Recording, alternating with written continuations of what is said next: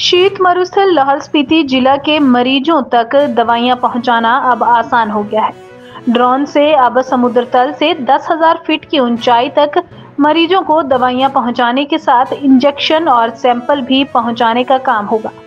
भारतीय आयुर्विज्ञान अनुसंधान परिषद दिल्ली द्वारा ड्रोन से लाहौल के विभिन्न स्वास्थ्य संस्थानों में दवाई भेजने का सफलतापूर्वक परीक्षण किया गया।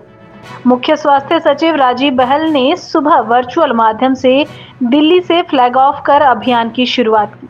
केलांग के पुलिस ग्राउंड से ज़रूरी दवाइयों को ड्रोन के माध्यम से प्राथमिक स्वास्थ्य केंद्र ठोलंग पहुँचाया और ठोलंग प्राथमिक स्वास्थ्य केंद्र से स्पुटम सैंपल को कैलांग के पुलिस ग्राउंड में पहुँचाया गया।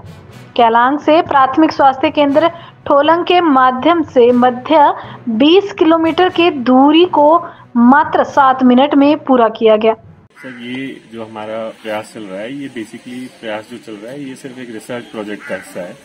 और आप ऐसा जानते हैं कि यहाँ पे जो हाइट है, वो केलोंग की तो चलिए दस हज़ार, ग्यारह हज़ार फिट एएसएल है। बट जहाँ पे जब आप पहाड़ियों के ऊपर जाते हैं तो ये ऊंचाई आपकी चौदह हज़ार, पंद्रह हज़ार तक भी चली जाती है। तो जो आपको ड्रोन उड़ाना होता है वो बेसिकली चौदह पंद्रह हज़ार फिट एएसएल पर और माइनस दस से पंद्रह डिग्री टेम्परेचर में उड़ाना होता है। तो हम पिछले दस पंद्रह दिनों से यही अध्ययन कर रहे हैं और समझने की कोशिश कर रहे हैं कि कि क्या क्या चैलेंजेस आ सकते हैं क्या हम एक जगह से उड़ाकर ड्रोन को दूसरी जगह पहुँचा सकते हैं जहाँ पे इमरजेंसीज में और ज़रूरत के वक्त में मेडिकल सप्लाईज पहुंचाई जा सके। सो so, अब जो हम बात करते हैं पिछले दस दिनों की तो हमने यहाँ पे बहुत सारी पीएससीज को आइडेंटिफाई किया उनको मैप किया।